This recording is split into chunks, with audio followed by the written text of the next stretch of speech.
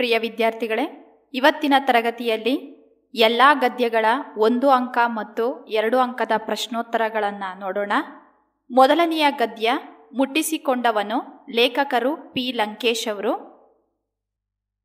ಒಂದು ಅಂಕದ ಪ್ರಶ್ನೋತ್ತರಗಳು, ಬಸಲಿಂಗನ ಹೆಂಡತಿಯ ಹೆಸರೇನು? ಬಸಲಿಂಗನ ಹೆಂಡತಿಯ ಹೆಸರು ಸಿದ್ಲಿಂಗಿ. ಬಸಲಿಂಗನಿಗೆ ಕಾಣಿಸಿಕೊಂಡ ತೊಂದರೆ ಯಾವುದು? ಬಸಲಿಂಗನಿಗೆ ಕಣ್ಣಿನಲ್ಲಿ ನೋವು ಕಾಣಿಸಿಕೊಂಡಿತು. ಅಥವಾ ಕಣ್ಣು ಬೇನೆ ಅಂತ ಬರೆದ್ರೂ ಸಹಿತ ಸರಿಯಾದ ಉತ್ತರನೇ? ಬಸಲಿಂಗನಿಗೆ ಮೊದಲು ಯಾವ ಕಣ್ಣಿನಲ್ಲಿ ನೋವು ಆರಂಭವಾಯಿತು? ಬಸಲಿಂಗನಿಗೆ ಮೊದಲು ಎಡಗಣ್ಣಿನಲ್ಲಿ ನೋವು ಆರಂಭವಾಯಿತು. ಮುಟ್ಟಿಸಿಕೊಂಡವನು ಕಥೆಯಲ್ಲಿ ಬರುವ ಸರ್ಕಾರಿ ಆಸ್ಪತ್ರೆಯ ವೈದ್ಯರ ಹೆಸರೇನು? ಮುಟ್ಟಿಸಿಕೊಂಡವನು ಕಥೆಯಲ್ಲಿ ಬರುವ ಸರ್ಕಾರಿ ಆಸ್ಪತ್ರೆಯ ವೈದ್ಯರ ಹೆಸರು ಡಾಕ್ಟರ್ ತಿಮ್ಮಪ್ಪ. ನೋಡಿ ಗಮನಿಸಿ, ಇದೇ ಥರನೇ ಬರಿಬೇಕು. ಬರೀ ತಿಮ್ಮಪ್ಪ ಅಂತ ಬರಿಬಾರ್ದು. ಡಾಕ್ಟರ್ ತಿಮ್ಮಪ್ಪ ಅಂತಲೇ ಬರಿಬೇಕು. ಪ್ರಶ್ನೆ ಐದು, ಸರ್ಕಾರಿ ಆಸ್ಪತ್ರೆಯ ಬಗ್ಗೆ ಬಸಲಿಂಗನಲ್ಲಿದ್ದ ಅಭಿಪ್ರಾಯವೇನು?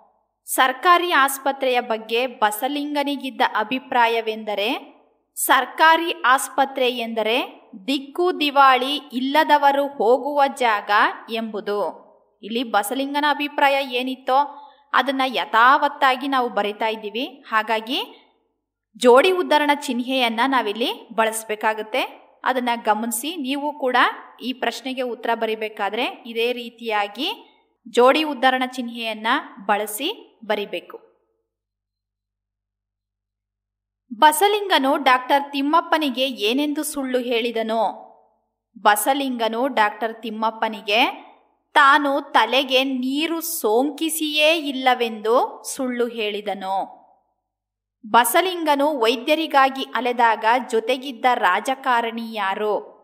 ಬಸಲಿಂಗನು ವೈದ್ಯರಿಗಾಗಿ ಅಲೆದಾಗ ಜೊತೆಗಿದ್ದ ರಾಜಕಾರಣಿ ಲಿಂಗಾಯತ ಜಾತಿಯ ರುದ್ರಪ್ಪ. ಬಸಲಿಂಗನ ಕಾಯಿಲೆ ದೇಹದ ಮಟ್ಟದಿಂದ ಯಾವ ಸ್ತರವನ್ನು ತಲುಪತೊಡಗಿತ್ತು?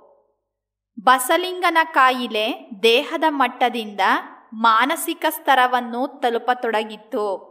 ಇಲ್ಲಿ ಮಾನಸಿಕ ಸ್ತರ ಅಂತಂದ್ರೆ ಮಾನಸಿಕ ಹಂತ ಅಂತ.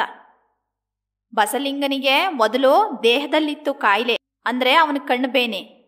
ಅದಾದ ಮೇಲೆ ತಾನು ಕೆಳಜಾತಿಗೆ ಸೇರಿದಂತಹ ವೈದ್ಯರನ್ನ ಮುಟ್ಟಿಸ್ಕೊಂಡು ಬಿಟ್ಟೆ ಅನ್ನೋ ಒಂದು ಮನೋಭಾವನೆ ಅವನೊಳಗೆ ಯಾವಾಗ ಬಂತೋ ಆ ಕಾಯಿಲೆ ಏನಾಯ್ತು, ಮಾನಸಿಕ ಕಾಯಿಲೆ ಆಯಿತು.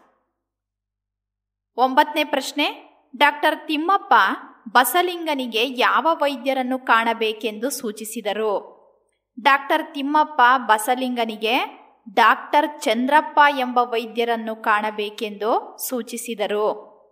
ಕೊನೆ ಪ್ರಶ್ನೆ ಕೊನೆಗೆ ಬಸಲಿಂಗ ಯಾವುದರಿಂದ ಮುಕ್ತನಾಗಿದ್ದ?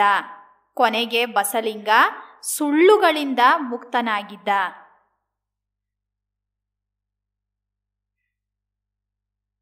ವಿದ್ಯಾರ್ಥಿಗಳೇ, ಈಗ ಎರಡು ಅಂಕದ ಪ್ರಶ್ನೆಗಳನ್ನು ನೋಡೋಣ.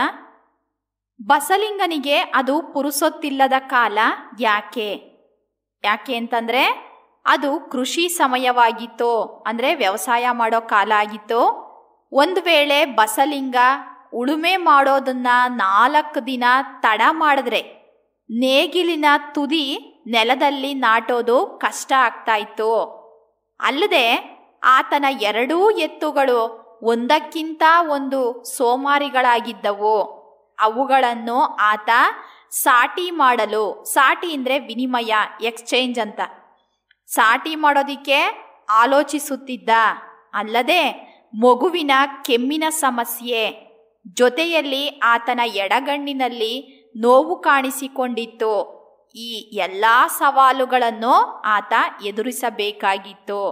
ಹಾಗಾಗಿನೇ ಬಸಲಿಂಗನಿಗೆ ಅದು ಬಿಡುವಿಲ್ಲದ ಕಾಲವಾಗಿತ್ತು.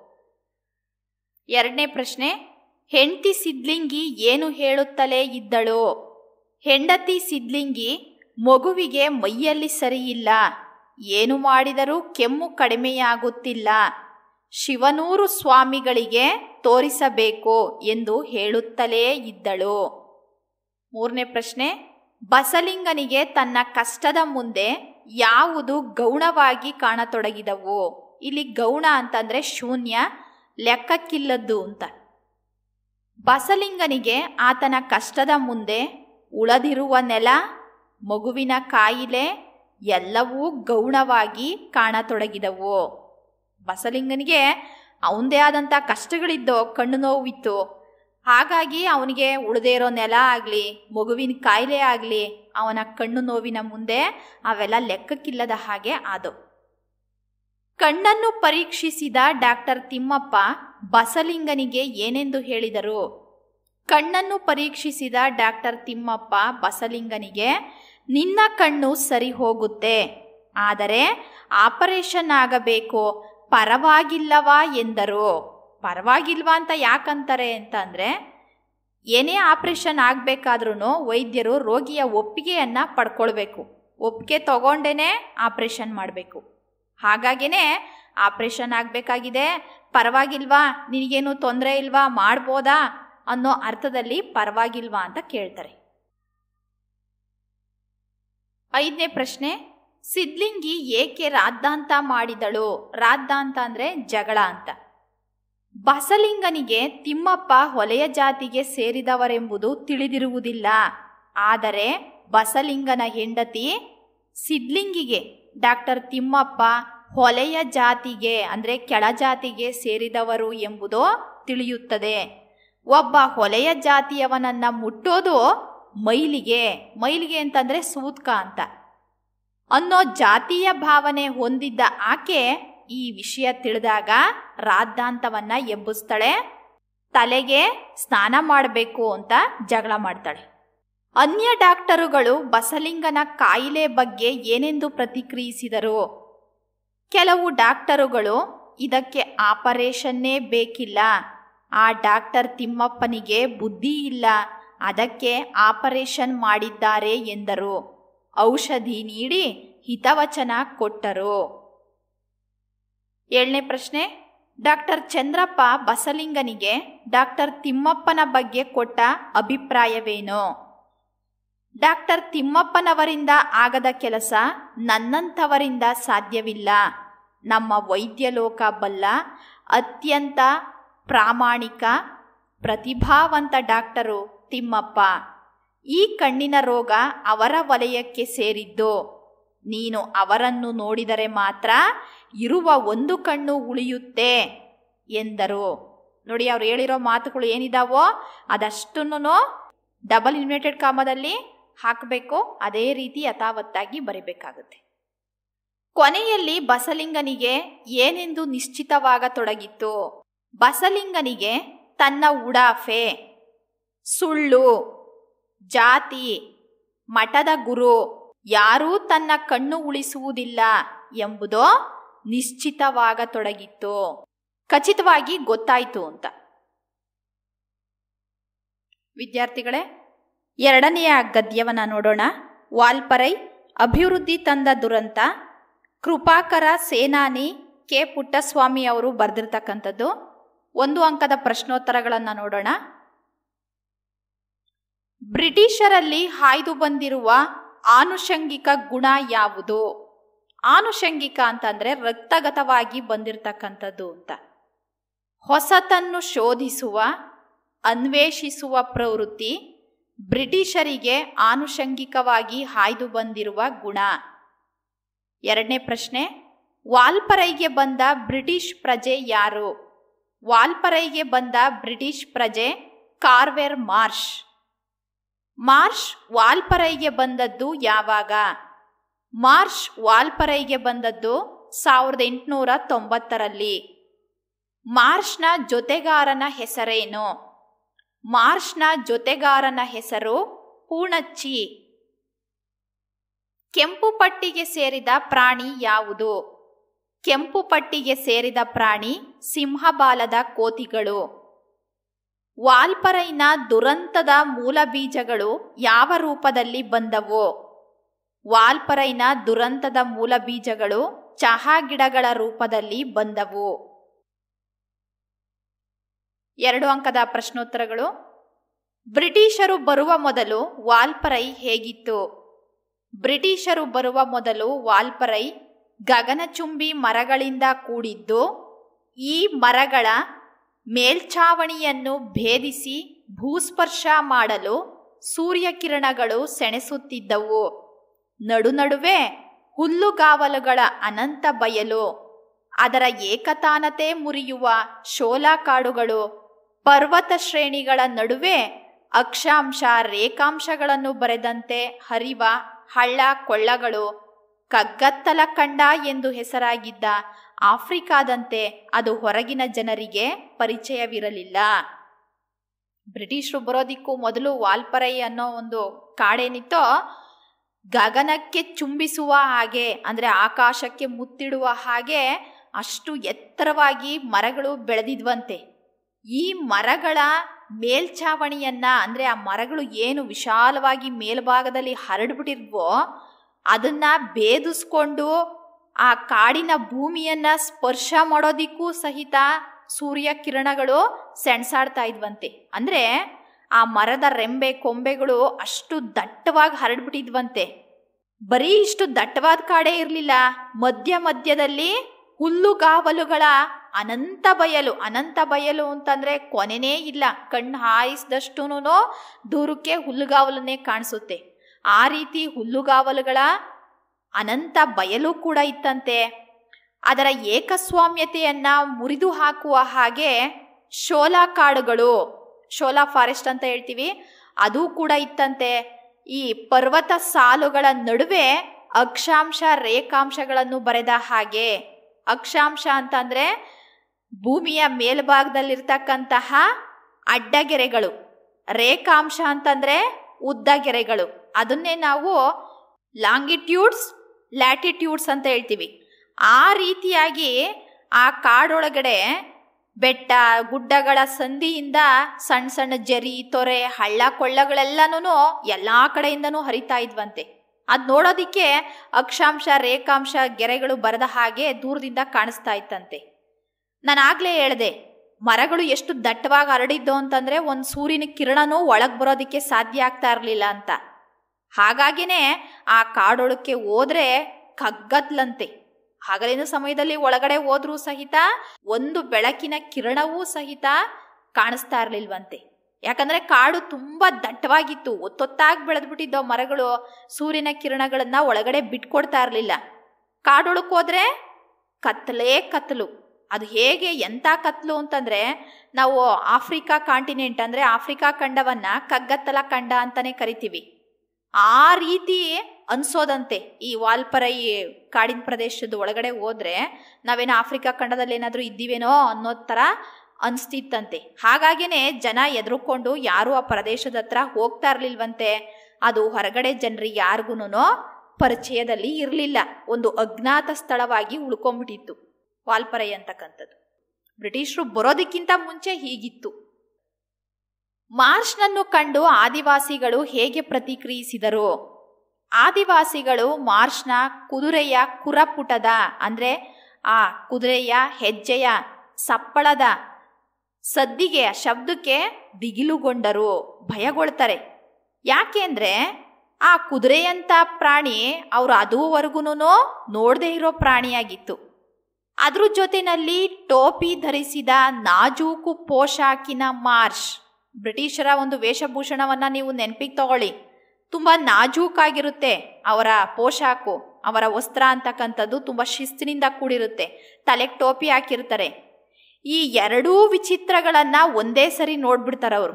ಒಂದು ಕುದುರೆಯಂಥ ಪ್ರಾಣಿ, ಇನ್ನೊಂದು ಶಿಸ್ತಿನ ವೇಷವನ್ನು ಧರಿಸಿದ್ದಂತಹ ಮಾರ್ಷು. ಈ ಎರಡೂ ವಿಚಿತ್ರಗಳನ್ನ ಒಂದೇ ಸರಿ ನೋಡಿ ಅವರು ಹೆದರುಕೊಂಡು, ಮಕ್ಕಳನ್ನ ಎಳ್ಕೊಂಡು ದಟ್ಟವಾದ ಆ ಕಾಡಿನಲ್ಲಿ ಮಿಂಚಿನ ಹಾಗೆ ಅವರು ತಕ್ಷಣ ಮಾಯ ಆಗ್ಬಿಟ್ರಂತೆ.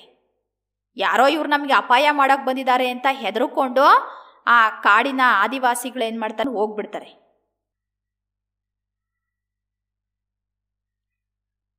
ಮೂರನೇ ಪ್ರಶ್ನೆ, ಕೈಗಾರಿಕೋದ್ಯಮಿಗಳಿಂದ ಕಾಡು ನಾಶವಾದುದು ಹೇಗೆ? ಕೈಗಾರಿಕೋದ್ಯಮಿಗಳಿಂದ ಅಂದರೆ ಇಂಡಸ್ಟ್ರಿಯಲಿಸ್ಟ್ ಅಂತ ಹೇಳ್ತೀವಿ. ಅವರಿಂದ ಗಗನಚುಂಬಿ ಮರಗಳು ನೆಲಕ್ಕೆ ಉರುಳ್ದೋ, ಅಂದರೆ ಅವ್ರೇನು ಮಾಡ್ತಾರೆ? ಮರಗಳನ್ನು ಕತ್ತರಿಸಾಕ್ತಾರೆ.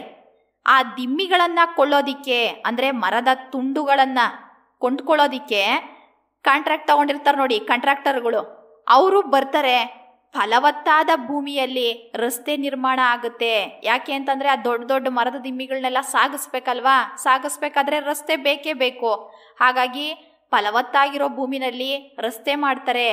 ಹೊಗೆಯನ್ನು ಉಗುಳುವ, ಗಡಗಡ ಅಂತ ಶಬ್ದ ಮಾಡ್ತಕ್ಕಂತಹ ಲಾರಿಗಳು, ಟ್ರ್ಯಾಕ್ಟರ್ಗಳು ಬರೋದಿಕ್ಕೆ ಪ್ರಾರಂಭ ಆಗುತ್ತೆ. ನೀರವತೆ ನಾಶವಾಯಿತು. ನೀರವತೆ ಅಂದರೆ ನಿಶ್ಶಬ್ದತೆ. ನಿಶಬ್ದವಾದ ವಾತಾವರಣ ಈಗ ಹಾಳಾಗೋಯ್ತು. ನಿರುದ್ಯೋಗ ಸಮಸ್ಯೆಗೆ ಸಂಜೀವಿನಿಯ ಹಾಗೆ ಇದ್ದಂತಹ ವಾಲ್ಪರೈ ಅರಣ್ಯದ ಮೇಲಿನ ಅತ್ಯಾಚಾರಕ್ಕೆ ಸರ್ಕಾರ ಉತ್ತೇಜನ ನೀಡಿದ ಪರಿಣಾಮ. ನಿಬಿಡ ಅರಣ್ಯಗಳೆಲ್ಲ ತೆರವಾಗಿ ದಟ್ಟವಾದಂಥ ಕಾಡೆಲ್ಲನೂ ನಾಶವಾಗಿ ಅವುಗಳ ಜಾಗದಲ್ಲಿ ಚಹಾ ತೋಟಗಳ ಅನಂತ ಬಯಲಿನ ಪ್ರದೇಶಗಳೇ ಏಕಸ್ವಾಮ್ಯತೆಯನ್ನು ಪಡೆದವು. ಏಕಸ್ವಾಮ್ಯತೆ ಅಂತಂದ್ರೆ ಬರೀ ಚಹಾ ಗಿಡಗಳೇ ನೀವು ಯಾವ ಕಡೆ ನೋಡಿದ್ರು ಅಲ್ಲಿ ಬೇರೆ ಇನ್ಯಾವುದೂ ಗಿಡ ಮರಗಳು ಇರಲಿಲ್ಲ ಅಂತ. ಚಹಾ ಗಿಡನೇ ಡಾಮಿನೆಂಟ್ ಆಗಿತ್ತು ಅಂತ, ಏಕಸ್ವಾಮ್ಯತೆ ಅಂದರೆ ಒಂದರ ಒಡೆತನ ಅಂತ. ನಾಲ್ಕನೇ ಪ್ರಶ್ನೆ, ಸಿಂಹಬಾಲದ ಕೋತಿಗಳಿಗೆ ಒದಗಿದ ತೊಂದರೆ ಏನು? ವಾಲ್ಪರೈ ಅರಣ್ಯ ನಾಶದಿಂದ ಸಿಂಹಬಾಲದ ಕೋತಿಗಳು, ಅಂದರೆ ಲಯನ್ ಟೈಲ್ಡ್ ಮಂಕೀಸ್ ಅಂತ, ಅವು ಸಂಕಷ್ಟದ ಪರಿಸ್ಥಿತಿಯನ್ನ ಎದುರಿಸ್ಬೇಕಾಯಿತು. ವೃಕ್ಷವಾಸಿಗಳಾದ ಕೋತಿಗಳು, ಸಾಮಾನ್ಯವಾಗಿ ಕೋತಿಗಳು ಮರದ ಮೇಲೆ ವಾಸ ಮಾಡ್ತಕ್ಕಂತಹ ಪ್ರಾಣಿಯವು, ಅವು ಈಗ ಮರದಿಂದ ಮರಕ್ಕೆ ಹಾರೋ ಹಾಗಿಲ್ಲ. ಯಾಕೆ ಅಂತಂದ್ರೆ ಮರಗಳನ್ನೆಲ್ಲ ಕತ್ತರಿಸಾಕ್ಬಿಟ್ರು. ಮರಗಳು ಎಲ್ಲೋ ದೂರ ದೂರದಲ್ಲಿದ್ದಾವೆ ಅವು ಮರದಿಂದ ಮರಕ್ಕೆ ಹಾರೋದಿಕ್ಕೆ ಮರಗಳೇ ಇಲ್ಲ.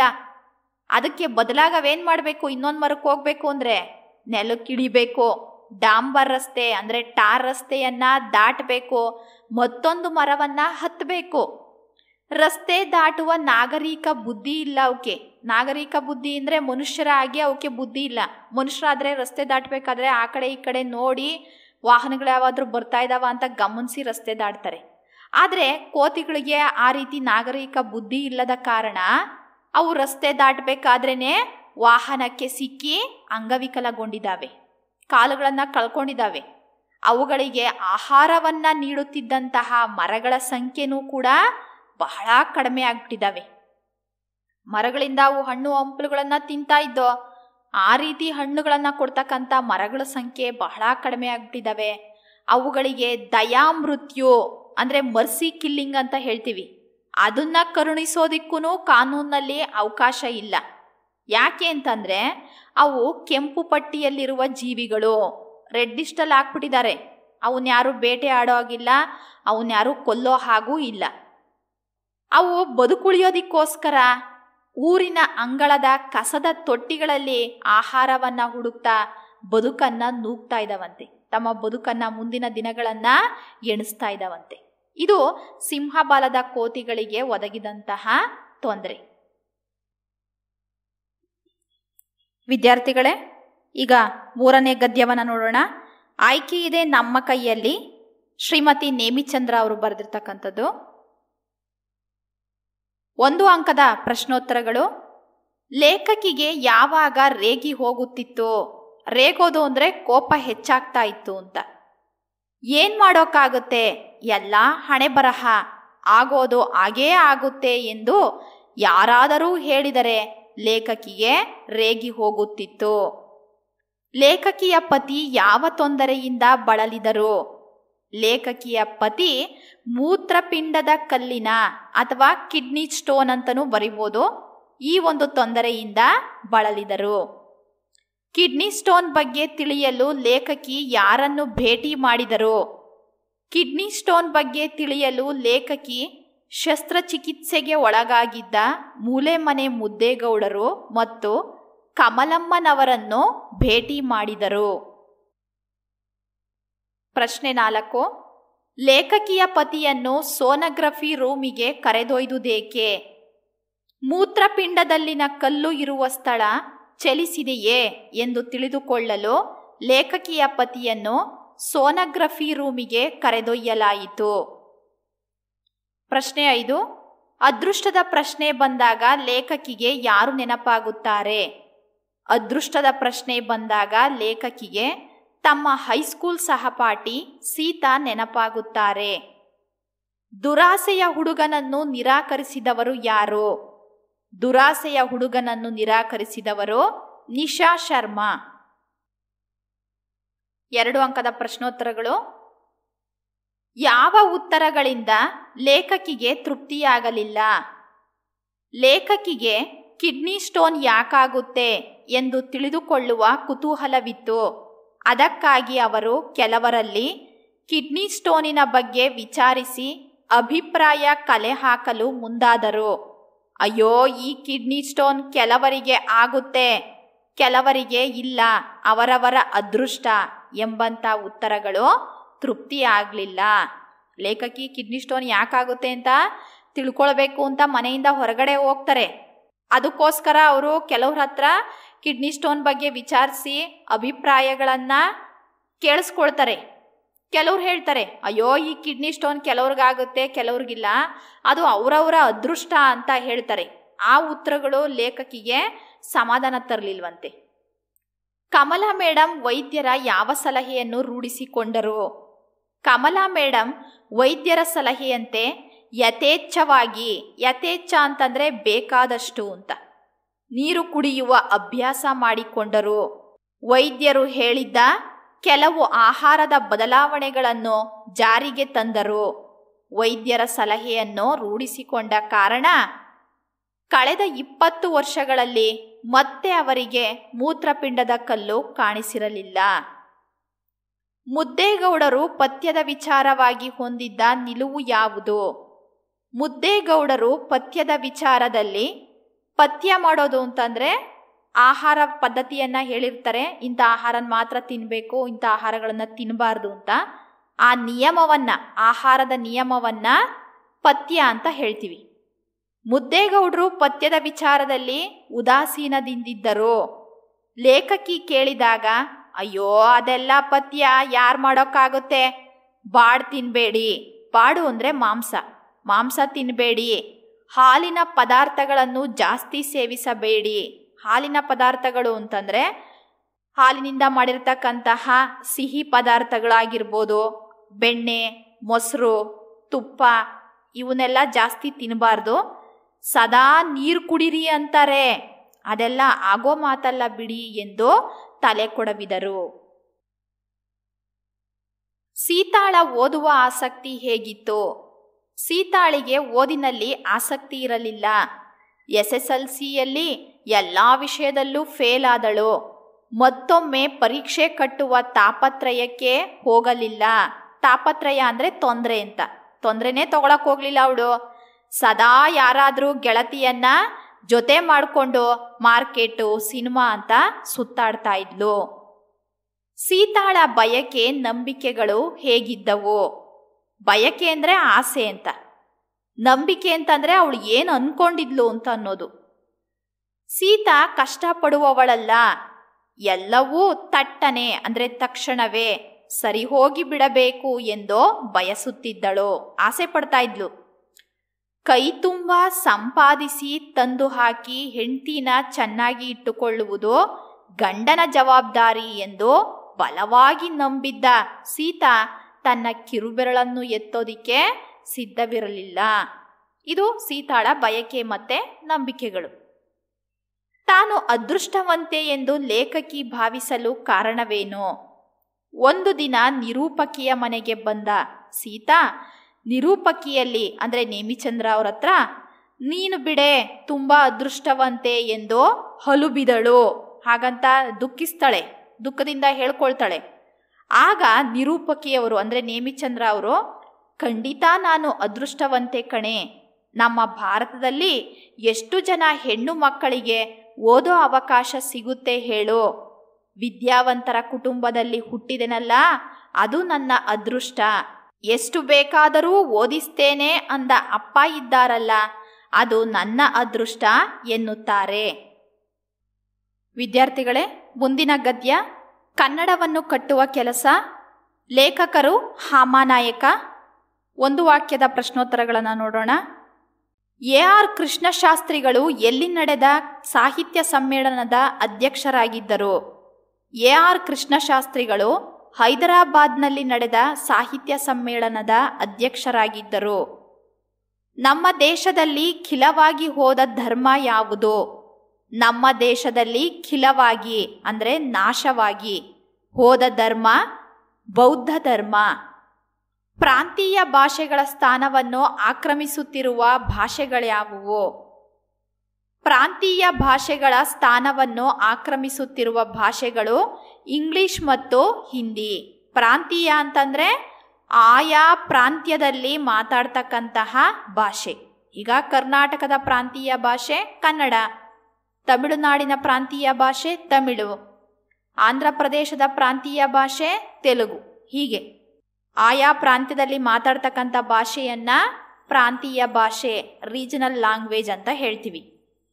ಇವತ್ತು ಅವುಗಳ ಸ್ಥಾನವನ್ನ ಇಂಗ್ಲಿಷ್ ಮತ್ತು ಹಿಂದಿ ಭಾಷೆಗಳು ಆಕ್ರಮಿಸ್ಕೊಳ್ತಾ ಇದ್ದಾವೆ ಅಂತ ಹಾಮಾನ ಅವರು ಹೇಳ್ತಾರೆ. ಯಾವ ಮರ್ಯಾದೆಯನ್ನು ನಾವು ಮೀರಬಾರದು? ಯಾವ ಯಾವ ಭಾಷೆಗೆ ಯಾವ ಯಾವ ಸ್ಥಾನವಿರಬೇಕೋ? ಆ ಮರ್ಯಾದೆಯನ್ನ ನಾವು ಮೀರಬಾರ್ದು. ಸ್ಥಳೀಯ ಭಾಷೆ ಕಲಿಯದ ಅನ್ಯ ಭಾಷಿಕರು ಏನಾಗುತ್ತಾರೆ? ಸ್ಥಳೀಯ ಭಾಷೆ ಕಲಿಯದ ಅನ್ಯ ಭಾಷಿಕರು ದ್ವೀಪ ಜೀವಿಗಳಾಗಿ ಉಳಿಯುತ್ತಾರೆ. ದ್ವೀಪ ಅಂತಂದ್ರೆ ಐಲ್ಯಾಂಡ್ ಅಂತ. ಮಧ್ಯಭೂಮಿ, ಸುತ್ತಲೂ ನೀರಿರ್ತಕ್ಕಂಥದ್ದನ್ನ ದ್ವೀಪ ಅಂತ ಹೇಳ್ತೀವಿ. ಬೇರೆ ರಾಜ್ಯದಿಂದ ಬಂದಂಥವರು ಇಲ್ಲಿನ ಭಾಷೆಯನ್ನ ಕಲಿದೇ ಇದ್ದಾಗ ಅವರು ಒಂಟಿ ಆಗ್ಬಿಡ್ತಾರೆ. ಅವರು ತಮ್ಮ ಭಾವನೆಗಳನ್ನು, ಯೋಚನೆಗಳನ್ನು ಹಂಚ್ಕೊಳ್ಳೋದಕ್ಕೆ ಭಾಷೆ ಬೇಕೇ ಬೇಕು. ಆ ರೀತಿ ಅವರು ಹಂಚ್ಕೊಳ್ಬೇಕು ಅಂದರೆ ಭಾಷೆ ಕಲಿಲೇಬೇಕು. ಭಾಷೆ ಕಲಿದೇ ಇದ್ದಾಗ ಅವರು ಒಂಟಿ ಆಗ್ತಾರೆ ಅಂತ ಹೇಳ್ತಾರೆ. ಪ್ರಶ್ನೆ ಆರು, ಯಾವುದು ನಮ್ಮ ಮೈಗೆ ಹತ್ತುವುದು? ನಮ್ಮ ಭಾಷೆಯಲ್ಲಿ ಓದಿದ್ದೇ ನಮ್ಮ ಮೈಗೆ ಹತ್ತುವುದು? ಕನ್ನಡದ ಮೂಲಕ ಕಲಿತು ಶ್ರೇಷ್ಠ ವಿಜ್ಞಾನಿಯಾದವರು ಯಾರು? ಕನ್ನಡದ ಮೂಲಕ ಕಲಿತು ಶ್ರೇಷ್ಠ ವಿಜ್ಞಾನಿಯಾದವರು doctor C N R Rao, Chintamani Nagesha Ramachandra Rao ಅಂತ ಅವರ ಪೂರ್ಣ ಹೆಸರು. ತಮ್ಮ ರಾಜ್ಯದಲ್ಲಿ ತಾವೇ ತಬ್ಬಲಿಗಳಾಗುತ್ತಿರುವವರು ಯಾರು? ತಮ್ಮ ರಾಜ್ಯದಲ್ಲಿ ತಾವೇ ತಬ್ಬಲಿಗಳಾಗುತ್ತಿರುವವರು ಕನ್ನಡಿಗರು. ಬದುಕು ಯಾವುದನ್ನು ಬಿಟ್ಟು ಇರುವುದಿಲ್ಲ. ಬದುಕು ಭಾಷೆಯನ್ನು ಬಿಟ್ಟು ಇರುವುದಿಲ್ಲ. ಕನ್ನಡದ ಸಮಸ್ಯೆಗಳಿಗೆ ಪರಿಹಾರ ದೊರಕಿಸಲು ನಾವು ಏನು ಮಾಡಬೇಕು? ಪ್ರತಿಯೊಬ್ಬ ಕನ್ನಡಿಗನು ಪ್ರತಿಯೊಂದು ಅಂಗುಲದಲ್ಲಿಯೂ ಕನ್ನಡಿಗನಾಗಬೇಕು. ಆಗ ಮಾತ್ರ ಅನೇಕ ಸಮಸ್ಯೆಗಳಿಗೆ ಪರಿಹಾರ ದೊರಕುತ್ತದೆ. ಎರಡು ಅಂಕದ ಪ್ರಶ್ನೋತ್ತರಗಳನ್ನು ಗಮನಿಸಿ. ಲೇಖಕರಲ್ಲಿ ಕನ್ನಡ ಪ್ರೀತಿ ಸ್ಫುರಿಸಿದ್ದು ಹೇಗೆ? ಸ್ಫುರಿಸು ಅಂತಂದ್ರೆ ಗೋಚರಿಸು, ಬುದ್ಧಿಗೆ ಹೊಳೆ ಅಂತ. ಲೇಖಕರಲ್ಲಿ ಮಾಸ್ತಿ, ಕುವೆಂಪು ತೀನಂಶ್ರೀ ಅವರ ಪದ್ಯಗಳನ್ನು ಪಠ್ಯ ಪುಸ್ತಕಗಳಲ್ಲಿ ಓದಿದಾಗ ಕನ್ನಡದ ಪ್ರೀತಿ ಸ್ಫುರಿಸಿತು. ಎರಡನೇ ಪ್ರಶ್ನೆ, ಎ ಆರ್ ಕೃಷ್ಣಶಾಸ್ತ್ರಿಗಳ ಭಾಷಣ ಓದಿ ಲೇಖಕರಲ್ಲಿ ಮೂಡಿದ ಭಾವನೆಗಳ್ಯಾವುವು ಎ ಆರ್ ಕೃಷ್ಣಶಾಸ್ತ್ರಿಗಳ ಭಾಷಣ ಓದಿ ಲೇಖಕರ ಹದಿಹರೆಯದ ಮನಸ್ಸಿನಲ್ಲಾದ ಖೇದವನ್ನು, ಅಂದರೆ ದುಃಖವನ್ನು, ಭಯವನ್ನು, ಅಸಹಾಯಕತೆಯನ್ನು, ಕ್ರೋಧವನ್ನು, ಅಂದರೆ ಕೋಪವನ್ನು ಈ ಹೊತ್ತು ಅನುಭವಿಸುತ್ತಿದ್ದಾರೆ. ಅಲ್ಲದೆ ಅಂದೇ ಕನ್ನಡದ ಕಾರಣಕ್ಕಾಗಿ ತಮ್ಮನ್ನು ತಾವು ಒಪ್ಪಿಸಿಕೊಂಡಿದ್ದಾಗಿ ಲೇಖಕರು ಹೇಳಿದ್ದಾರೆ.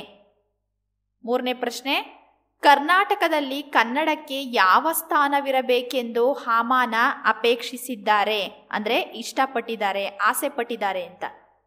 ಯಾವ ಯಾವ ಭಾಷೆಗೆ ಯಾವ ಯಾವ ಸ್ಥಾನವಿರಬೇಕೋ ಆ ಮರ್ಯಾದೆಯನ್ನು ನಾವು ಮೀರಬಾರದು. ಕರ್ನಾಟಕದಲ್ಲಿ ಕನ್ನಡವೇ ಪ್ರಥಮ, ಪ್ರಧಾನ, ರಾಜ, ರಾಣಿ, ರಾಜಕುಮಾರ ಎಲ್ಲ. ಮಿಕ್ಕ ಯಾವ ಭಾಷೆಯಾದರೂ ಇಲ್ಲಿ ಸೇವಕರ ಸ್ಥಾನದಲ್ಲಿರಬೇಕು. ಕೇಂದ್ರದ ರೈಲು, ಅಂಚೆ ಇಲಾಖೆಗಳು ಯಾವ ಧೋರಣೆ ಬೆಳೆಸಿಕೊಂಡಿವೆ? ರೈಲ್ವೆ, ಅಂಚೆ ಮತ್ತು ತಂತಿ ಇಲಾಖೆ. ತಂತಿ ಅಂತಂದರೆ ಟೆಲಿಫೋನ್ ಅಂತ. ಪ್ರಾದೇಶಿಕ ಭಾಷೆಗಳ ಮೇಲೆ ಸಾಕಷ್ಟು ಮಲತಾಯಿ ಧೋರಣೆ ಬೆಳೆಸಿಕೊಂಡಿವೆ.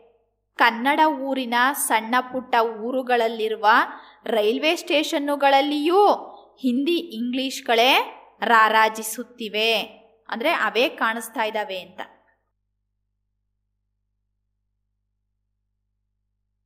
ಐದನೇ ಪ್ರಶ್ನೆ, ತ್ರಿಭಾಷಾ ಸೂತ್ರದ ಬಳಕೆ ಹೇಗಿರಬೇಕು?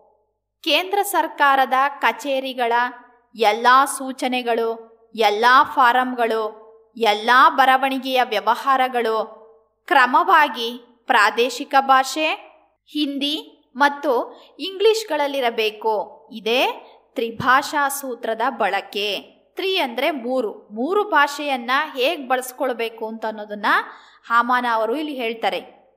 ಪ್ರಶ್ನೆ ಆರು, ನಮ್ಮ ಸಾರ್ವಜನಿಕರ ಶಾಲೆಗಳ ಬಗ್ಗೆ ಲೇಖಕರ ಅಭಿಪ್ರಾಯವೇನು? ಕುಸಿದು ಬೀಳುತ್ತಿರುವ ಕಟ್ಟಡಗಳು ದೊಡ್ಡಿಯಾದ ತರಗತಿಗಳು, ಅಧ್ಯಾಪಕರಿಲ್ಲದ ತರಗತಿಗಳು, ಪಾಠ ಹೇಳದ ಅನರ್ಹ ಅಧ್ಯಾಪಕರು, ದಿನ ಬೆಳಗಾದರೆ ರಜೆ, ಶಿಸ್ತಿಲ್ಲದ ವ್ಯವಸ್ಥೆ, ಮೂತ್ರದ ವಾಸನೆಯ ಪರಿಸರ, ಇದು ನಮ್ಮ ಸರ್ಕಾರಿ ಶಾಲೆಗಳ ಸ್ಥಿತಿ. ಎಲ್ಲಿಯವರೆಗೆ ನಮ್ಮ ಸಾರ್ವಜನಿಕ ಶಾಲೆಗಳ ಸ್ಥಿತಿಗತಿಗಳು ಉತ್ತಮವಾಗಿರುವುದಿಲ್ಲವೋ? ಅಲ್ಲಿಯವರೆಗೆ ಶಿಕ್ಷಣದಲ್ಲಿ ಕನ್ನಡ ಆಕರ್ಷಕವೆನಿಸುವುದಿಲ್ಲ. ಏಳನೇ ಪ್ರಶ್ನೆ, ಕನ್ನಡದ ಸಮಸ್ಯೆಗಳು ಎಲ್ಲಿಯವರೆಗೂ ಇದ್ದೇ ಇರುತ್ತದೆ? ಎಲ್ಲಿಯವರೆಗೂ ಕನ್ನಡ ನಮ್ಮ ಆಡಳಿತ, ಶಿಕ್ಷಣದಲ್ಲಿ ಪ್ರಥಮವು, ಪ್ರಧಾನವು ಆಗಿರುವುದಿಲ್ಲವೋ? ಎಲ್ಲಿಯವರೆಗೆ ಅದು ಜನಜೀವನವನ್ನು ತುಂಬಿಕೊಳ್ಳುವುದಿಲ್ಲವೋ? ಎಲ್ಲಿಯವರೆಗೆ ಕನ್ನಡಿಗರು ಸ್ವಾಭಿಮಾನಿಗಳಾಗುವುದಿಲ್ಲವೋ? ಅಲ್ಲಿಯವರೆಗೂ ಕನ್ನಡದ ಸಮಸ್ಯೆಗಳು ಇದ್ದೇ ಇರುತ್ತವೆ. ಎಂಟನೇ ಪ್ರಶ್ನೆ, ಕನ್ನಡದ ಬಗ್ಗೆ ಮಾತಾಡಲು ನಾವು ಯೋಗ್ಯತೆ ಗಳಿಸುವುದು ಯಾವಾಗ? ನಮ್ಮ ಮಕ್ಕಳನ್ನು ಯಾವ ಶಾಲೆಗಳಲ್ಲಿ ಓದಿಸುತ್ತಿದ್ದೇವೆ? ನಾವು ಯಾವ ಪತ್ರಿಕೆಯನ್ನು ಓದುತ್ತಿದ್ದೇವೆ? ನಾವು ನೋಡುವುದು ಯಾವ ಸಿನಿಮಾಗಳನ್ನು, ನಮ್ಮ ಮನೆಯ ಬೋರ್ಡು ಯಾವ ಭಾಷೆಯಲ್ಲಿದೆ, ಲಗ್ನ ಪತ್ರಿಕೆ ಲೆಟರ್ ಹೆಡ್ ಅಂಚಾಗಿರುವುದು ಯಾವ ಭಾಷೆಯಲ್ಲಿ, ಇಂತಹ ನೂರು ಪ್ರಶ್ನೆಗಳನ್ನು ನಾವು ಕೇಳಿಕೊಳ್ಳಬೇಕು. ಅವುಗಳ ಉತ್ತರ ನಮ್ಮನ್ನು ಚುಚ್ಚದಿದ್ದರೆ ಮಾತ್ರ ಕನ್ನಡದ ಬಗ್ಗೆ ಮಾತನಾಡಲು ನಾವು ಯೋಗ್ಯತೆ ಗಳಿಸಿದ್ದೇವೆ ಎಂದು ಅರ್ಥ. ವಿದ್ಯಾರ್ಥಿಗಳೇ, ಐದನೆಯ ಗದ್ಯವನ್ನು ನೋಡೋಣ. ಧಣಿಗಳ ಬೆಳ್ಳಿ ಲೋಟ. ಲೇಖಕಿ ಎಚ್. ನಾಗವೇಣಿ ಅವರು ಬರೆದಿರ್ತಕ್ಕಂಥದ್ದು. ಒಂದು ವಾಕ್ಯದ ಪ್ರಶ್ನೋತ್ತರಗಳು. ಧಣಿಗಳ ಮನೆಯ ಪಕ್ಕದಲ್ಲಿ ಹರಿಯುತ್ತಿದ್ದ ಹೊಳೆ ಯಾವುದು? ಧಣಿಗಳ ಮನೆಯ ಪಕ್ಕದಲ್ಲಿ ಶಾಂಭವಿ ಹೊಳೆ ಹರಿಯುತ್ತಿತ್ತು. ಗುಡ್ಡ ಹೊಳೆಯಲ್ಲಿ ಯಾವ ಆಟ ಆಡುತ್ತಿದ್ದನು? ಗುಡ್ಡ ಹೊಳೆಯಲ್ಲಿ ಮುಸುರೆ ಪಾತ್ರೆಯಲ್ಲಿ ಮರಿ ಮೀನುಗಳನ್ನು ಹಿಡಿಯುವ ಆಟ ಆಡುತ್ತಿದ್ದನು? ಧಣಿಗಳ ಹೆಸರೇನೋ? ಧಣಿಗಳ ಹೆಸರು ವೆಂಕಪ್ಪಯ್ಯ. ಬೆಳ್ಳಿ ಲೋಟ ಲಪಟಾಯಿಸಿದ ಅಪವಾದವನ್ನು ಯಾರ ಮೇಲೆ ಹೊರಿಸಲಾಯಿತು? ಬೆಳ್ಳಿ ಲೋಟ ಲಪಟಾಯಿಸಿದ ಅಂದ್ರೆ ಕದ್ದ. ಅಪವಾದವನ್ನು ಕುದುಪನ ಕುಟುಂಬದ ಮೇಲೆ ಹೊರಿಸಲಾಯಿತು. ಧಣಿ ಎಂದಿಗೂ ಯಾರ ಮಾತನ್ನು ನಂಬುವುದಿಲ್ಲ. ಧಣಿ ಎಂದಿಗೂ ಒಕ್ಕಲ ಮಕ್ಕಳ ಮಾತನ್ನು ನಂಬುವುದಿಲ್ಲ. ಧಣಿಗಳು ಹೊಳೆಯ ಹೂಳೆತ್ತಲು ಯಾರಿಗೆ ಸೂಚಿಸಿದರು? ಧಣಿಗಳು ಹೊಳೆಯ ಹೂಳೆತ್ತಲು ಕುದುಪನಿಗೆ ಸೂಚಿಸಿದರು. ಹೂಳು ಅಂತಂದ್ರೆ ಕೆಸರು ಮಣ್ಣು, ಗೋಡಿ ಮಣ್ಣು ಅಂತಲೂ ಹೇಳ್ತೀವಿ. ಬೆಳ್ಳಿ ಲೋಟ ಏನನ್ನು ಕಳೆದುಕೊಂಡಿತ್ತು? ಬೆಳ್ಳಿ ಲೋಟ ಹೊಳೆಯ ಹೂಳೊಳಗೆ ಅವಿತು ತನ್ನ ಬಣ್ಣ ಗಾಂಭೀರ್ಯವನ್ನು ಕಳೆದುಕೊಂಡಿತ್ತು. ಧಣಿಗಳ ದಾಂಪತ್ಯಕ್ಕೆ ಯಾವುದು ಮೂಕ ಸಾಕ್ಷಿಯಾಗಿತ್ತು? ಧಣಿಗಳ ದಾಂಪತ್ಯಕ್ಕೆ ಬೆಳ್ಳಿ ಲೋಟ ಮೂಕ ಸಾಕ್ಷಿಯಾಗಿತ್ತು. ಎರಡು ಅಂಕದ ಪ್ರಶ್ನೋತ್ತರಗಳು. ಮುಂಜಾನೆ ಚಿನ್ನಮ್ಮ ಯಾವ ಕೆಲಸದಲ್ಲಿ ತೊಡಗಿದ್ದಳು? ಮುಂಜಾನೆ, ಚಿನ್ನಮ್ಮ, ಎಂದಿನಂತೆ ಹೊಳೆಯ ಸೆರಗಲ್ಲಿ, ಅಂದರೆ ಅಂಚಲ್ಲಿ, ಮುಸುರೆ ಪಾತ್ರೆಗಳನ್ನು ರಾಶಿ ಹಾಕಿ ಕೂತು ಪಕ್ಕದಲ್ಲಿ ಬೂದಿಯ ಗೆರಟೆಯನ್ನು ಇರಿಸಿಕೊಂಡು, ಗೆರಟೆ ಅಂದ್ರೆ ತೆಂಗಿನ ಚಿಪ್ಪು, ತೆಂಗಿನ ಚಿಪ್ಪೊಳಗಡೆ ಸೌದೆ ಉರಿದ ಬೂದಿಯನ್ನು ತುಂಬಿಕೊಂಡಿದ್ಲು ಆ ಚಿಪ್ಪಿನ ತುಂಬ. ಅದನ್ನ ಪಕ್ಕದಲ್ಲಿ ಇಟ್ಕೊಂಡು ಹೊಳೆಯನ್ನ ಬೈತಾ ಮುಸುರೆ ಪಾತ್ರೆಗಳನ್ನ ತಿಕ್ಕಿ ತೊಳಿತಾ ಇದ್ಲು. ನದಿಯ ಒಡಲು ಯಾವಾಗ ಪ್ರಕ್ಷುಬ್ಧವಾಗಿರುತ್ತದೆ? ಆಷಾಢ, ಶ್ರಾವಣ, ಭಾದ್ರಪದ ಮಾಸದಲ್ಲಿ ನದಿಯ ಒಡಲು ಕಾವಿಗೆ ಕೂತ ಹೆಂಟೆಯಂತೆ, ಹೆಂಟೆ ಅಂದರೆ ಹೆಣ್ಣು ಕೋಳಿ. ಯಾವತ್ತೂ ವ್ಯಗ್ರ, ಪ್ರಕ್ಷುಬ್ಧ, ಕೋಪದಿಂದ ಕೂಡಿರುತ್ತೆ. ಹತ್ತಿರ ಬಂದವರನ್ನು ಕುಕ್ಕಿ ಮುಕ್ಕುವ ಸಿಡುಕು ಇರುತ್ತದೆ. ಮಳೆಗಾಲದಲ್ಲಿ ನದಿಗಳೆಲ್ಲ ಉಕ್ಕಿ ಹರಿತವಲ್ವಾ? ಅದನ್ನ ಕಾವಿ ಕೂತಿರೋ ಹೆಣ್ಣು ಕೋಳಿಗೆ ಹೋಲಿಕೆ ಮಾಡಿ ಹೇಳ್ತಾರೆ. ಹೆಣ್ಣು ಕೋಳಿ ತಾನಿಟ್ಟ ಮೊಟ್ಟೆಗೆ ಕಾವು ಕೊಡ್ತಾ ಇರುತ್ತೆ. ಅದ್ರ ಹತ್ರಕ್ಕೆ ಯಾರಾದರೂ ಹೋದ್ರೆ ತನ್ನ ಮೊಟ್ಟೆಗಳನ್ನ ಎಲ್ಲಿ ಹಾಳು ಮಾಡ್ತಾರೋ ಅಂತ ಅದೇನು ಮಾಡುತ್ತೆ? ಕುಕ್ಕೋಗಿ ಬರುತ್ತೆ. ಗಾಯ ಮಾಡುತ್ತೆ. ಆ ರೀತಿ ಮಳೆಗಾಲದಲ್ಲಿ ನದಿಗಳು ಹಾಗೇನೆ. ತುಂಬ ಕೋಪದಿಂದ ಉಕ್ಕಿ ಹರಿತಾ ಇರ್ತವೆ ಅಂತ ಇಲ್ಲಿ ಲೇಖಕಿಯವರು ಹೇಳ್ತಾರೆ. ಮೂರನೇ ಪ್ರಶ್ನೆ, ಧಣಿಗಳು ಹೊಳೆಯನ್ನು ಹೇಗೆ ಮೂದಲಿಸುತ್ತಿದ್ದರು? ಮೂದಲಿಸು ಅಂತಂದರೆ ಬೈಯೋದು, ಹೀಯಾಳಿಸೋದು ಅಂತ, ಟೀಕೆ ಮಾಡೋದು ಅಂತ. ಮಳೆಗಾಲದಲ್ಲಿ ಶಾಂಭವಿ ಹೊಳೆ ಆಡಿದ್ದೇ ಆಟ ಹೂಡಿದ್ದೇ ಊಟವಾಗಿತ್ತು. ಅದು ಹೆಂಗ್ ಮನ್ಸಿಗೆ ಬರುತ್ತೋ, ಆ ಥರ ಮಾಡ್ತಾ ಇತ್ತು. ಧಣಿಗಳು ಹೊಳೆಯನ್ನು ಮಳೆಗಾಲ ಬಂದರೆ ಸಾಕು. ಈ ಬಿಕನಾಸಿ ಹೊಳೆ, ಬಿಕನಾಸಿ ಅಂದರೆ ದರಿದ್ರ ಅಂತ. ಈ ಬಿಕನಾಸಿ ಹೊಳೆ ಊರಿಡೀ ತನ್ನ ಸೆರಗನ್ನು ಹಾಸಿಬಿಡುತ್ತದೆ. ಎಷ್ಟಗಲ ಸೆರಗು ಹಾಸಿದರೂ ಇನ್ನಷ್ಟು ದೂರಕ್ಕೆ ಹಾಸಬೇಕೆಂಬ ಚಟ ಇದಕ್ಕೆ ಎಂದು ಮೂದಲಿಸುತ್ತಿದ್ದರು. ಈ ರೀತಿಯಾಗಿ ಟೀಕೆ ಮಾಡ್ತಾ ಇದ್ರು. ಪ್ರಶ್ನೆ ನಾಲ್ಕು, ಮುಸುರೆ ಪಾತ್ರೆಗಳ ಒಡೆಯ ಏನೆಂದು ಯೋಚಿಸಿದನು? ಮುಸುರೆ ಪಾತ್ರೆಗಳ ಒಡೆಯ ಗುಡ್ಡನು ತೋರು ಬೆರಳನ್ನ, ಅಂದರೆ ಎರಡನೇ ಬೆರಳನ್ನ ಬಾಯೊಳಗೆ ಇರಿಸಿಕೊಂಡು ಮೌನ ಮುದ್ರೆಯಲ್ಲಿದ್ದಾನೆ. ಹೇಗೂ ಚೆಡ್ಡಿ ಒದ್ದೆ ನೀರಾಗಿದೆ. ಮತ್ತೊಮ್ಮೆ ತಾನು ಈ ತುಂಬಿದ ಹೊಳೆಯಲ್ಲಿ ಯಾಕೆ ಈಜಬಾರದು? ಅಪ್ಪನಲ್ಲಿ ಕೇಳುವುದೋ ಬಿಡುವುದೋ ಎಂದು ಯೋಚಿಸಿದನು. ಪ್ರಶ್ನೆ ಐದು ಧಣಿಪತ್ನಿ ಬೆಳ್ಳಿ ಲೋಟವನ್ನು ಹೇಗೆ ಪರಿಚಯಿಸಿದ್ದಾಳೆ? ಧಣಿಪತ್ನಿ ಈ ಬೆಳ್ಳಿ ಲೋಟ ಜಾಗ್ರತೆ ಮಾರಾಯ. ನನ್ನ ಮದುವೆಯಲ್ಲಿ ನನ್ನಪ್ಪ ಕೊಟ್ಟಿದ್ದು. ಅಪ್ಪಯ್ಯ, ಕುಡ್ಲದ ರಥಬೀದಿಯಲ್ಲಿರುವ ನರಸಿಂಹಾಚಾರಿಯಲ್ಲಿ ಮಾಡಿದ್ದು. ಅದರ ಮೈಮೇಲಿನ ಹೂಬಳ್ಳಿಯನ್ನು ಈ ಕಾಲದಲ್ಲಿ ಯಾವ ಆಚಾರಿ ತಾನೇ ಮಾಡಿಯಾನೋ ಎಂದು ಬೆಳ್ಳಿ ಲೋಟವನ್ನು ಪರಿಚಯಿಸಿದ್ದಾಳೆ. ಪ್ರಶ್ನೆ ಆರು, ಧಣಿಯ ಬಡಿತದಿಂದ ಗುಡ್ಡ ಬಂಧಮುಕ್ತನಾದುದು ಹೇಗೆ? ಧಣಿಗಳು ಗುಡ್ಡನ ಬಾಯಿ ಬಿಡಿಸಲು ಅಂಗಳದ ಹೊಂಗಾರೆ ಮರಕ್ಕೆ ಬಿಗಿದು ತೆಂಗಿನ ಕೊತ್ತಳಿಗೆಯಲ್ಲಿ ಬಡಿದರು.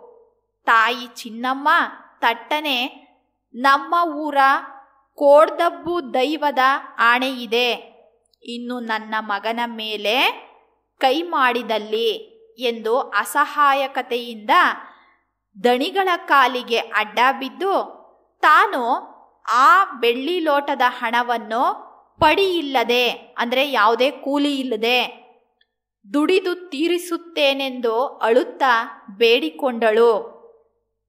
ಮುಂದಿನ ಮೂರು ಬೇಸಿಗೆಯವರೆಗೆ ಚಿನ್ನಮ್ಮನ ದುಡಿತಕ್ಕೆ ಪಡಿಯಿಲ್ಲ ಎಂಬ ಕರಾರಿನನ್ವಯ, ಕರಾರು ಅಂದರೆ ಒಪ್ಪಂದ ಅಂತ.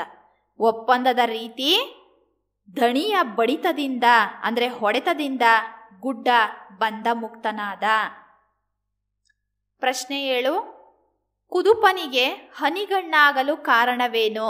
ಹನಿಗಣ್ಣು ಅಂತಂದ್ರೆ ಅವನ ಕಣ್ಣಲ್ಲಿ ನೀರು ತುಂಬ್ಕೊಂಡ್ಬಿಡ್ತು.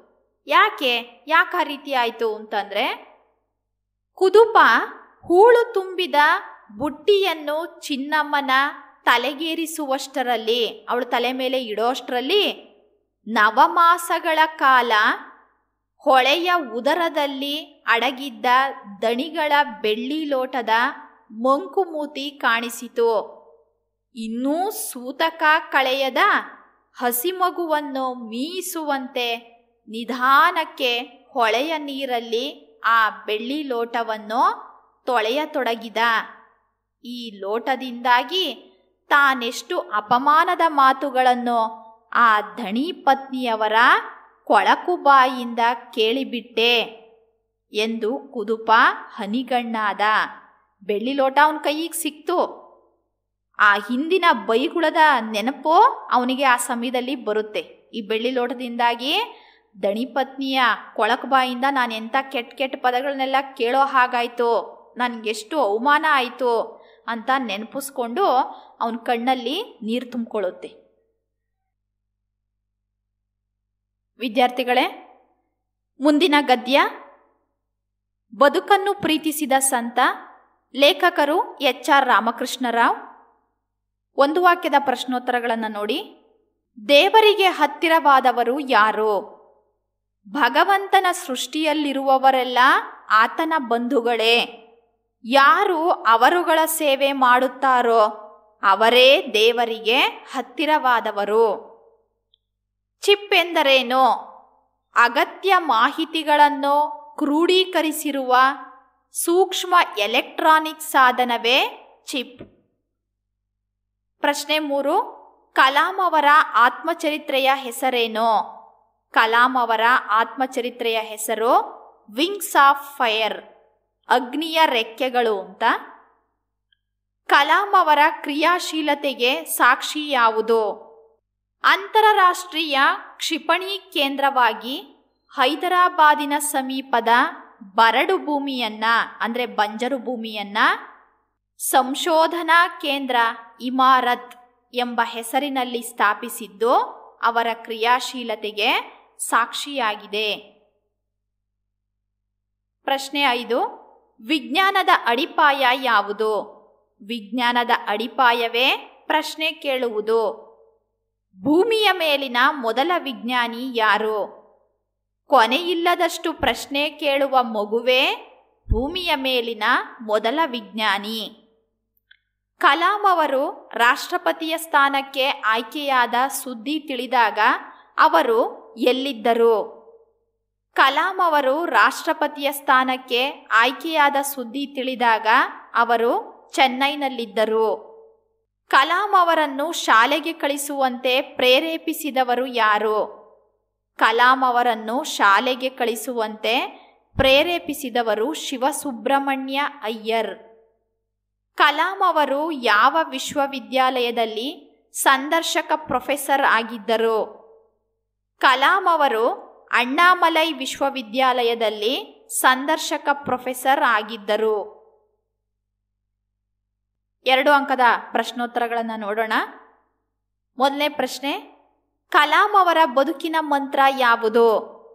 ವಿಜ್ಞಾನ, ತಂತ್ರಜ್ಞಾನಗಳ ಸಂಕೀರ್ಣ ಪ್ರಪಂಚದಲ್ಲಿ ಅಬ್ದುಲ್ ಕಲಾಂ ಅವರು ತಮ್ಮನ್ನು ತಾವೇ ತೊಡಗಿಸಿಕೊಂಡದ್ದು ಯಾವುದೋ ಪ್ರಶಸ್ತಿ, ಪುರಸ್ಕಾರ ಹಣ ಗಳಿಸಲಿಕ್ಕಲ್ಲ ಭಗವಂತನ ಸೃಷ್ಟಿಯಲ್ಲಿರುವವರೆಲ್ಲ ಆತನ ಬಂಧುಗಳೇ. ಯಾರು ಅವರುಗಳ ಸೇವೆ ಮಾಡುತ್ತಾರೋ ಅವರೇ ದೇವರಿಗೆ ಹತ್ತಿರವಾದವರು. ಇದು ಕಲಾಂ ಅವರ ಬದುಕಿನ ಮಂತ್ರ. ಕಲಾಂ ಅವರು ತಾವು ಆತ್ಮಕತೆ ಬರೆದದ್ದು ಏತಕ್ಕಾಗಿ. ನನ್ನ ಬದುಕು ಯಾರೊಬ್ಬರಿಗೆ ಅನುಕರಣೆಗೆ ಯೋಗ್ಯವಾದ ಮಾದರಿಯಾಗುತ್ತದೆಂಬ ಭ್ರಮೆ ನನಗಿಲ್ಲ. ಯಾವುದೋ ಮೂಲೆಯಲ್ಲಿನ ಊರಿನಲ್ಲಿ ಹುಟ್ಟಿ ಸಾಮಾಜಿಕವಾಗಿ ಸೌಲಭ್ಯಗಳಿಂದ ವಂಚಿತವಾಗಿರುವ ಮಗುವಿಗೆ ಅದರಂಥದ್ದೇ ಪರಿಸರದಲ್ಲಿದ್ದ ನನ್ನ ಭವಿಷ್ಯ ಅರಳಿದ್ದನ್ನು ಓದಿದಾಗ ಭರವಸೆ ಮೂಡಬಹುದು.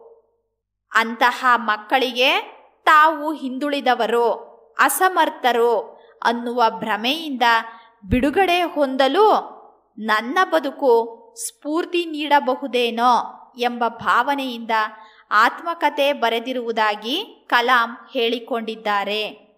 ಪ್ರಶ್ನೆ ಮೂರು, ಕಲಾಂ ಅವರು ಬಂಡೆಗಳ ಬಸಿರಲ್ಲಿ ಕಂಡದ್ದೇನು? ಕಲಾಂ ಅವರು ಒಬ್ಬ ಶಿಲ್ಪಿ. ಬೇರೆಯವರಿಗೆ ಬಂಡೆಯಾಗಿ ಕಾಣಿಸಿದ್ದು ಅವರಿಗೆ ಅದರೊಳಗೆ ಅಡಗಿರುವ ಶಿವಶಕ್ತಿಯಾಗಿ ಕಾಣಿಸುತ್ತದೆ. ಕುಗ್ರಾಮ ಇಮಾರತ್ ಇಂದು ವಿಶ್ವವಿಖ್ಯಾತ. ಕಗ್ಗಲ್ಲ ಬಂಜರು ನಾಡಿನಲ್ಲಿ ಬಂಡೆಗಳ ಬಸಿರಲ್ಲಿ ಶಿವನ ನಿಹಿತ ಶಕ್ತಿಯನ್ನು ನಿಹಿತ ಅಂತ ಅಂದರೆ ಅಡಗಿರುವ ಅಂತ. ಶಿವನ ಅಡಗಿರುವ ಶಕ್ತಿಯನ್ನು ಕಲಾಂ ಕಂಡರು. ಕ್ಷಿಪಣಿ ರೂಪದಲ್ಲಿ ಶಕ್ತಿ ಹೊರಬರಲು ಕಂಪಿಸುತ್ತಿರುವುದನ್ನು ಅವರ ಒಳಗಣ್ಣು ನೋಡಿತು. ಪ್ರಶ್ನೆ ನಾಲ್ಕು. ವಿಜೆ ಸುಂದರಂ ಸಿಕಂದರಾಬಾದ್ ಶಾಲಾ ಬಾಲಕಿ ಬಗೆಗೆ ಹೇಳಿದ ಹೆಮ್ಮೆಯ ಮಾತುಗಳ್ಯಾವುವು ವಿಜೆ ಸುಂದರಂ ಸಿಕಂದರಾಬಾದ್ ಶಾಲಾ ಬಾಲಕಿ ಬಗೆಗೆ ಹೇಳಿದ ಹೆಮ್ಮೆಯ ಮಾತುಗಳು ಯಾವುದು ಅಂತಂದ್ರೆ, ಈ ಬಾಲಕಿ ನಮ್ಮ ಕ್ಷಿಪಣಿಯ ಆಕಾರ, ಗಾತ್ರ ಕುರಿತು ಒಂದಷ್ಟು ವಿವರ ಕೇಳಿದ್ದಳು. ನಾನು ಮಾಹಿತಿ ನೀಡಿದ್ದೆ. ನೋಡಿ. ಎಂಥ ಅದ್ಭುತ ಮಾದರಿ ತಯಾರಿಸಿದ್ದಾಳೆ ಎಂದು ಹೆಮ್ಮೆಯಿಂದ ಹೇಳಿದರು. ಪ್ರಶ್ನೆ ಐದು, ಕಲಾಂ ಅವರ ದೃಷ್ಟಿಯಲ್ಲಿ ಕನಸುಗಳು ಏನಾಗುತ್ತವೆ? ಕಲಾಂ ಅವರ ದೃಷ್ಟಿಯಲ್ಲಿ ಕನಸುಗಳು ಆಲೋಚನೆಗಳಾಗುತ್ತವೆ. ಆಲೋಚನೆಗಳು ಸೃಜನಾತ್ಮಕ ಕ್ರಿಯೆಗಳಾಗಿ ಪರಿವರ್ತನೆಗೊಳ್ಳುತ್ತವೆ. ಪ್ರಶ್ನೆ ಆರು ಕಲಾಂ ಮೇಷ್ಟ್ರು ಹೇಳಿದ ಯಶಸ್ಸಿನ ಪಂಚಾಕ್ಷರಿ ಮಂತ್ರ ಯಾವುದು? ಕುತೂಹಲ, ಆಲೋಚನಾ ಶಕ್ತಿ, ಜ್ಞಾನ, ಅಂದರೆ ತಿಳಿವು, ಕಷ್ಟಪಟ್ಟು ಕೆಲಸ ಮಾಡುವುದು ಮತ್ತು ಗುರಿ ಸಾಧಿಸುವ ಛಲ. ಇವು ಕಲಾಂ ಮೇಷ್ಟ್ರು ಹೇಳಿದ ಯಶಸ್ಸಿನ ಪಂಚಾಕ್ಷರಿ ಮಂತ್ರ. ವಿದ್ಯಾರ್ಥಿಗಳೇ ಮುಂದಿನ ಗದ್ಯ ಏಳನೇದು, ತಿರುಳ್ಗನ್ನಡದ ಬೆಳ್ನುಡಿ, ಲೇಖಕರು ಮುದ್ದಣ್ಣ. ಒಂದು ಅಂಕದ ಪ್ರಶ್ನೋತ್ತರಗಳನ್ನು ನೋಡೋಣ. ಮುದ್ದಣ ಅರಮನೆಯಿಂದ ಬರುತ್ತಿರುವುದನ್ನು ನಿಂತು ನೋಡಿದವರು ಯಾರು? ಮನೋರಮೆಯು ಮುದ್ದಣ ಅರಮನೆಯಿಂದ ಬರುತ್ತಿರುವುದನ್ನು ನಿಂತು ನೋಡಿದಳು. ಯಾವ ಕತೆ ಹೇಳಬೇಕೆಂದು ಮನೋರಮೆ ಕೇಳಿದಳು. ಉಳಿದರೂ, ಅಳಿದರೂ ದಾರಿ ತೋರಿಸುವಂತಹ ರಸಭರಿತವಾದ ರಾಮಾಯಣದ ಯಾವುದಾದರೊಂದು ಪ್ರಸಂಗ ಹೇಳಬೇಕೆಂದು ಕೇಳಿದಳು. ಪ್ರಶ್ನೆ ಮೂರು, ಶೇಷನು ರಾಮಾಯಣದ ಕಥೆಯನ್ನು ಯಾರಿಗೆ ಹೇಳಿದನು? ಶೇಷನು ಮೊದಲು ರಾಮಾಯಣದ ಕಥೆಯನ್ನು ವಾತ್ಸಾಯನನಿಗೆ ಹೇಳಿದನು. ಎಂತಹ ಗದ್ಯದಲ್ಲಿ ಕತೆ ಹೇಳೆಂದು ಮನೋರಮೆ ಕೇಳುವಳು. ಹೃದಯಕ್ಕೆ ಆನಂದ ನೀಡುವಂತ ಗದ್ಯದಲ್ಲಿ ಕತೆ ಹೇಳಬೇಕೆಂದು ಮನೋರಮೆ ಕೇಳಿದಳು. ಮನೋರಮೆ ಬಹುಮಾನವಾಗಿ ಏನನ್ನು ಕೊಡುವೆನೆಂದಳು? ಮನೋರಮೆ ಬಹುಮಾನವಾಗಿ ತನ್ನನ್ನು ತಾನು ಅರ್ಪಿಸಿಕೊಳ್ಳುವೆನೆಂದಳು. ವಸುದೆಗೆ ಒಡೆಯನೆನಿಸಿದವನು ಯಾರು? ವಸುದೆಗೆ ಅಂದರೆ ಭೂಮಿಗೆ ಒಡೆಯನೆನಿಸಿದವನು ಶ್ರೀರಾಮಚಂದ್ರ. ಪ್ರಶ್ನೆ ಏಳು, ಕನ್ನಡವು ಕಸ್ತೂರಿಯಲ್ಲವೇ ಎಂದವರಾರು? ಮನೋರಮೆಯು, ಕನ್ನಡವು ಕಸ್ತೂರಿಯಲ್ಲವೇ ಎಂದು ಹೇಳಿದಳು. ಎರಡು ಅಂಕದ ಪ್ರಶ್ನೋತ್ತರಗಳು. ಮೊದಲನೇ ಪ್ರಶ್ನೆ, ಮುದ್ದಣನನ್ನು ಮನೋರಮೆ ಹೇಗೆ ಉಪಚರಿಸಿದಳು? ದೂರದಿಂದಲೇ ಪತಿ ಬರುವುದನ್ನು ಕಂಡ ಮನೋರಮೆ, ಎದ್ದು ಆತನನ್ನು ಎದುರುಗೊಂಡು ಕೈಕಾಲು ತೊಳೆದುಕೊಳ್ಳುವುದಕ್ಕೆ ನೀರು ಕೊಟ್ಟು ಮನೆಯೊಳಗೆ ಕರೆದುಕೊಂಡು ಹೋಗಿ ಮಣೆಯಿತ್ತು ಕುಡಿಯಲು ಹಾಲನ್ನು, ತಿನ್ನಲು ರುಚಿಕರವಾದ ಹಣ್ಣುಗಳನ್ನು ಮಾತ್ರವಲ್ಲದೆ, ಅಂದರೆ ಅಷ್ಟೇ ಅಲ್ಲದೆ ರಸವತ್ತಾದ ಕಂಪು ಭರಿತ ತಾಂಬೂಲವನ್ನು ನೀಡಿ ಉಪಚರಿಸಿದಳು. ಎರಡನೇ ಪ್ರಶ್ನೆ, ಮನೋರಮೆ ಕತೆ ಹೇಳೆಂದು ಕೇಳಲು ಕಾರಣವೇನು? ಹಗಲಿರುಳು ಒಂದೇ ಸಮನೆ ಸುರಿಯುತ್ತಿರುವ ಈ ಜಡಿಮಳೆಯಿಂದಾಗಿ ಹಗಲು ಬಹಳ ದೀರ್ಘವಾಗಿ ಕಾಣಿಸುತ್ತಿದೆ. ಮನಸ್ಸಿಗೆ ಬೇಸರವಾಗಿದೆ. ಆದ್ದರಿಂದ ಯಾವುದಾದರೂ ನಲ್ಗತೆಯನ್ನು ಹೇಳು ಎಂದು ಕೇಳಿದಳು. ಪ್ರಶ್ನೆ ಮೂರು. ಕತೆಯನ್ನು ಯಾವ ರಸಗಳಲ್ಲಿ ಹೇಳಲೆಂದು ಮುದ್ದಣ ಕೇಳಿದನು. ಮನೋರಮೆಯು ಹಗಲಿರುಳು ಒಂದೇ ಸಮನೆ ಸುರಿಯುತ್ತಿರುವ ಈ ಜಡಿಮಳೆಯಿಂದಾಗಿ ಮನಸ್ಸಿಗೆ ಬೇಸರವಾಗಿದೆ. ಯಾವುದಾದರೂ ಒಂದು ಕತೆಯನ್ನು ಹೇಳು ಎಂದಾಗ ಮುದ್ದಣನು ಅಷ್ಟೇ ತಾನೇ, ಯಾವ ಕತೆ ಹೇಳಲಿ? ಭೋಜ ಪ್ರಬಂಧವೋ? ವಿಕ್ರಮ ವಿಜಯವೋ? ಮಹಾವೀರ ಚರಿತೆಯೋ? ಎಂದಾಗ ಇವುಗಳಲ್ಲಿ ನನಗೆ ಆಸಕ್ತಿ ಇಲ್ಲ ಉಳಿದರೂ ಅಳಿದರೂ ದಾರಿ ತೋರಿಸುವಂತ ರಸಭರಿತವಾದ ಕತೆ ಹೇಳು ಎನ್ನುತ್ತಾಳೆ. ಆಗ ಮುದ್ದಣನು, ನಿನಗೆ ಯಾವ ರಸ ಇಷ್ಟ? ಶೃಂಗಾರ ರಸವೇ ವೀರರಸವೇ ಹಾಸ್ಯರಸವೇ ಎಂದು ಕೇಳಿದನು. ಪ್ರಶ್ನೆ ನಾಲ್ಕು, ಯಾವ ಧಾಟಿಯಲ್ಲಿ ಕತೆಯನ್ನು ಹೇಳೆಂದು ಮನೋರಮೆ ಕೇಳಿದಳು?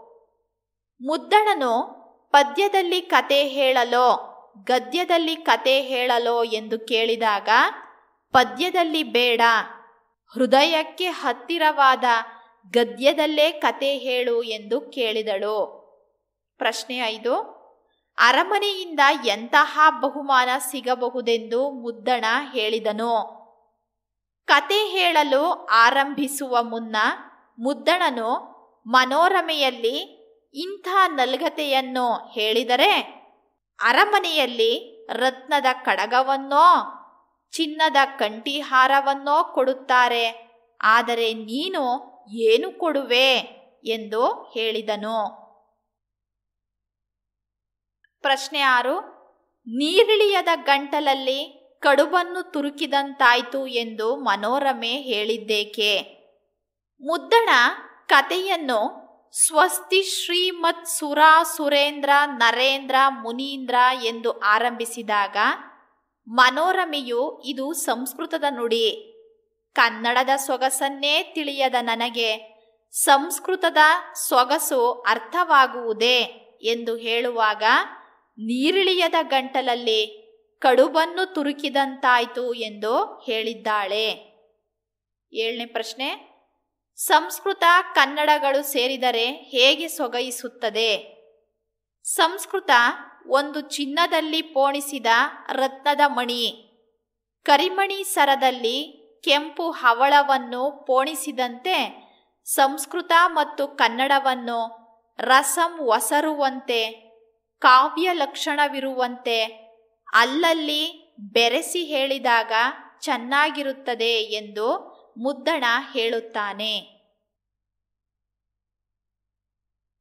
ವಿದ್ಯಾರ್ಥಿಗಳೇ, ಎಂಟನೆಯ ಗದ್ಯ, ಹಳ್ಳಿಯ ಚಹಾ ಹೋಟೆಲುಗಳು, ಲೇಖಕರು ವೀರೇಂದ್ರ ಸಿಂಪಿ, ಒಂದು ವಾಕ್ಯದ ಪ್ರಶ್ನೋತ್ತರಗಳನ್ನು ನೋಡೋಣ. ಪ್ರಶ್ನೆ ಒಂದು, ಕಲಿಯುಗದ ಅಮೃತ ಯಾವುದು? ಕಲಿಯುಗದ ಅಮೃತ ಚಹಾ, ಅಂದರೆ ಟೀ ಅಂತ. ಮೂರು ಕಾಲಿನ ಕುರ್ಚಿ ಎಲ್ಲಿದೆ? ಹಳ್ಳಿಯ ಚಹಾ ಪಳಾರದ ಅಂಗಡಿಯಲ್ಲಿ ಮೂರು ಕಾಲಿನ ಕುರ್ಚಿ ಇದೆ. ಎತ್ತುಗಳು ಗಕ್ಕೆಂದು ಎಲ್ಲಿ ನಿಲ್ಲುತ್ತವೆ? ಪಳಾರದ ಅಂಗಡಿ ಬಂದೊಡನೆ ಎತ್ತುಗಳು ಗಕ್ಕೆಂದು ನಿಲ್ಲುತ್ತವೆ. ಬಾಯಿ ಚಪಲ ಯಾರಿಗೆ ಜಾಸ್ತಿ ಇರುತ್ತದೆ? ಬಾಯಿ ಚಪಲ ವೃದ್ಧರಿಗೆ, ಪೆನ್ಷನ್ದಾರರಿಗೆ ಜಾಸ್ತಿ ಇರುತ್ತದೆ. ಲೇಖಕರ ದೃಷ್ಟಿಯಲ್ಲಿ ಹಳ್ಳಿಯ ಚಹಾದ ಅಂಗಡಿ ಹೇಗೆ? ಲೇಖಕರ ದೃಷ್ಟಿಯಲ್ಲಿ ಹಳ್ಳಿಯ ಚಹಾದ ಅಂಗಡಿ ವಾರ್ತಾ ಇಲಾಖೆ ಇದ್ದಂತೆ. ಪ್ರಶ್ನೆ ಆರು, ಯಾರ ಬಗ್ಗೆ ಮೂಕರ್ಜಿಯ ದೂರನ್ನು ಹಳ್ಳಿಗರು ಕೊಡುತ್ತಾರೆ? ಹೆಡ್ ಮಾಸ್ತರರ ಬಗ್ಗೆ ಮೂಕರ್ಜಿಯ ದೂರನ್ನು ಹಳ್ಳಿಗರು ಕೊಡುತ್ತಾರೆ. ಕಲ್ಲಪ್ಪನವರ ಗೂಢ ಪ್ರಶ್ನೆ ಯಾವುದು? ಗೂಢ ಅಂದರೆ ರಹಸ್ಯ ಅಂತ. ಆ ಶಿವಶರಣಪ್ಪನಿಗೆ ಅಷ್ಟು ಸುಂದರ ಹೆಂಡತಿ ಯಾಕಿರಬೇಕು ಎಂಬುದು ಕಲ್ಲಪ್ಪನವರ ಗೂಢ ಪ್ರಶ್ನೆ. ಲೋಕಲ್ ಸುದ್ದಿಗಳಿಗೆ ಎಲ್ಲಿ ಪ್ರಾಶಸ್ತ್ಯವಿದೆ? ಹಳ್ಳಿಯ ಹೋಟೆಲುಗಳಲ್ಲಿ ಲೋಕಲ್ ಸುದ್ದಿಗಳಿಗೆ ಪ್ರಾಶಸ್ತ್ಯವಿದೆ.